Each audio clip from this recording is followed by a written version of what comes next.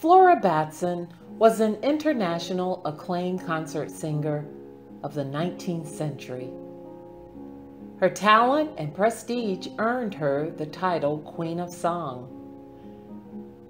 She was born on April 16, 1864, in Washington, D.C., to N.N. Batson and Mary A. Batson. Mary became a Civil War widow so she and Flora moved to Providence, Rhode Island in 1867. Flora was only three years old. Growing up, Batson sang in local choirs, and starting in 1878, she sang for Storer College in Harpers Ferry, West Virginia. She was there for two years.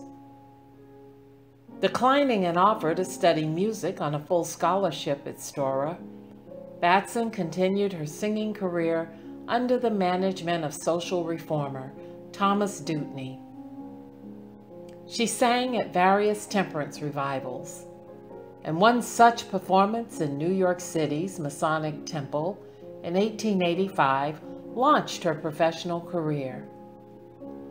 To much critical acclaim, she sang Six Feet of Earth Makes Us All One Size for 90 consecutive nights and caught the attention of John G. Bergen, the white manager of the all-black Bergen Star Concert Company.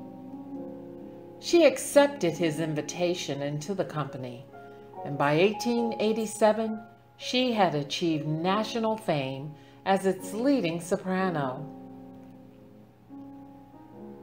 Batson married Bergen on December 13, 1887, and their controversial interracial marriage made international tabloid headlines.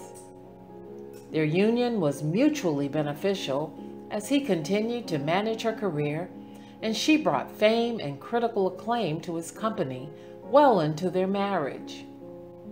After Bergen's death in 1896, she toured with African American basso Gerard Miller, whom she eventually married at the height of her career. She toured internationally and sang for many world leaders, including Pope Leo VIII, Queen Victoria of England, and Queen Liliuokalani of Hawaii. Early in her career, Batson became known as the double voice queen of song.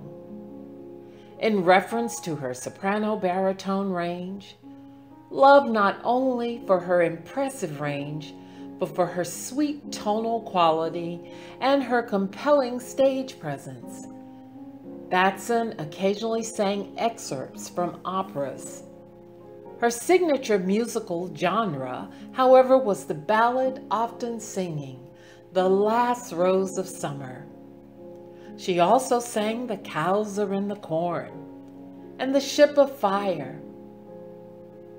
Her concerts usually ended with enthusiastic standing ovations, and as a tribute to her title, Queen of Song, different cities often presented her with diamonds, tiaras, and other jewelry. As vaudeville comedy sketches came into popularity, unfortunately, Batson's skills as a concert soloist were in less demand. Later in her career, she sang primarily for charities and religious organizations, choosing philanthropy over profit-making performances. Her last concert was at the Bethel African Methodist Episcopal Church in Philadelphia on November 29, 1906. Flora Batson died suddenly, only two days later, in Philadelphia on December 1st, 1906. She was only 42 years old.